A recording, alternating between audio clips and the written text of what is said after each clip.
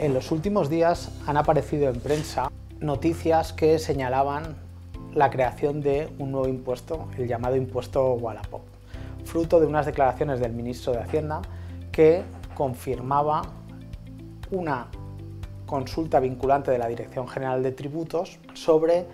la tributación de las adquisiciones online de bienes muebles de segunda mano. A pesar de la polémica generada en redes sociales,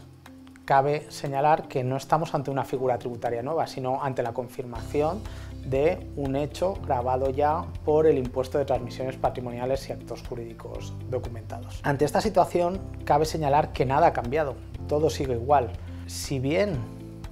las administraciones tributarias disponen de más datos acerca del contribuyente, cabe recordar que como no podemos confirmar que efectivamente se ha producido la compraventa, no tenemos más que una información acerca de un anuncio insertado, sin que se pueda confirmar que la transacción se ha producido y por tanto que debe ser objeto de gravamen.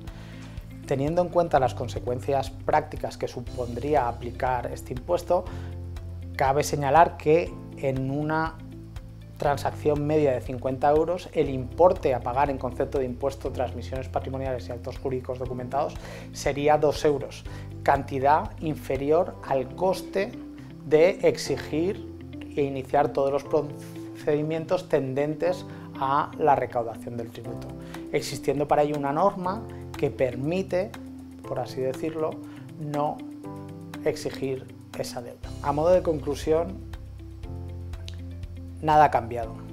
Hasta la fecha no han sido grabadas las adquisiciones online de bienes muebles de segunda mano y nos parece difícil que se puedan grabar teniendo en cuenta las dificultades de gestión, recaudación y el coste que las mismas conlleva para las comunidades autónomas, atendiendo a la naturaleza de impuesto cedido que tiene el impuesto sobre transmisiones patrimoniales y actos jurídicos documentados.